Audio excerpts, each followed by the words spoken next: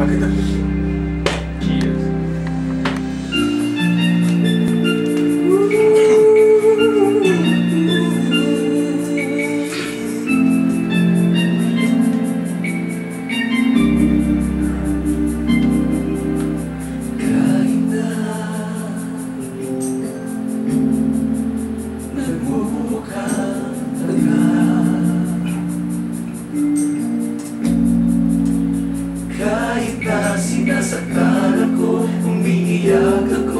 Dahil sa'yo, eto pa rin ako? Halos baliw sa'yo kahit na Inuloko mo lang